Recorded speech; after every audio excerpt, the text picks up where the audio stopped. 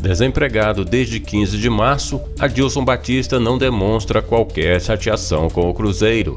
Pelo contrário, em entrevista, o treinador revelou ser sócio do clube e torcedor declarado da Raposa, a ponto de tirar sarro do grande rival Atlético. Mas Adilson anda bem chateado com o que fizeram com o Cruzeiro. Perguntado sobre a nota que o ex-presidente Wagner Pires de Sá e o ex-vice-presidente de futebol Itair Machado merecem, Adilson respondeu: nota zero e que espera que eles sejam presos.